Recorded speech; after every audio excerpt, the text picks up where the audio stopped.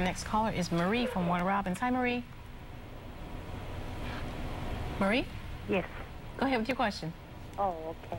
Um, my question is, um, I went under um, a surgery um, in Macon, and this was about five months ago.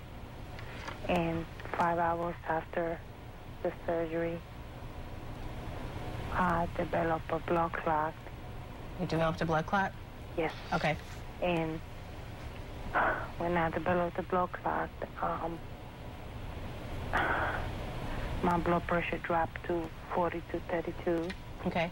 And um, I remember that they said I went into cardiac arrest, and they paged the doctor that did the surgery, but he did not return the page.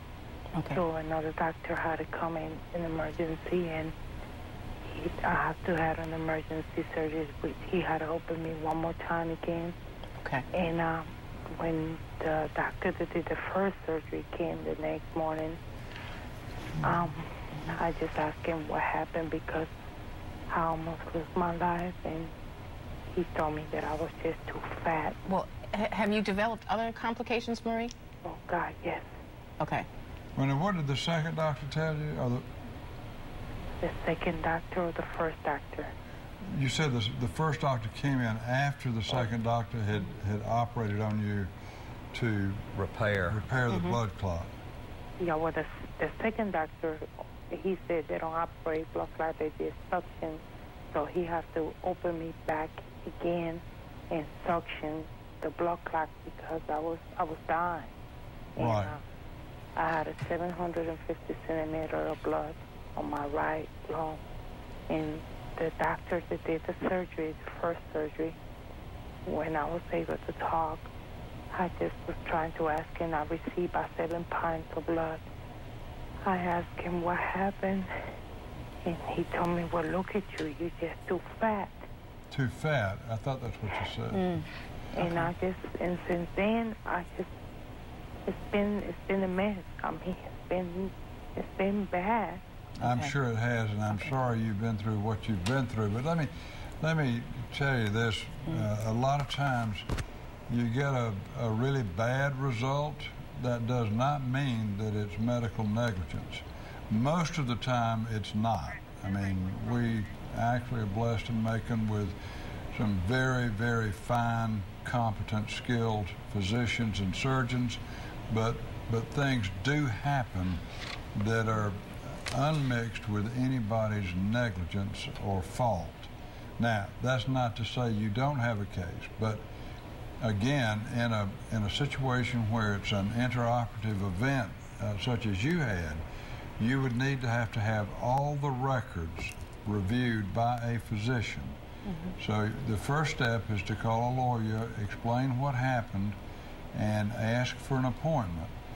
Then that lawyer and his staff would determine whether or not uh, your case would warrant ordering out the medical records to determine whether or not you have a cause of action.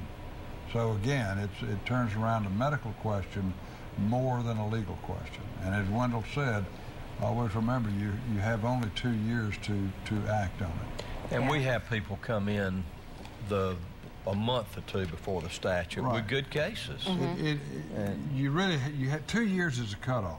Yeah. And there are provisions that allow a lawyer to file an affidavit for a client to extend the statute, but most lawyers will not do that uh, simply because it ties them to the case, and, and, and then it's hard to disentangle yourself from that case. Uh, our rule of thumb is if, if we don't have something at least three or four months before the statute, mm-hmm. we simply can't look at it. It's, it's just very difficult to order out the records Right. that are needed and required legally to mm-hmm. file mm-hmm. the med, med mal case. believe ti- now would be the time to act, because I think she said Right. it five months ago. I'm Yeah. sure we lost Maria. Yeah, don't Okay. wait. Yeah. All right. Thanks for your call, Marie. The legal information supplied in this broadcast is general information only and is not intended to be legal advice for any given situation. Do not rely on broadcast information without consulting an attorney. Contingent attorney's fees refers only to those fees charged by the attorneys for legal services. Such fees are not permitted in all types of cases.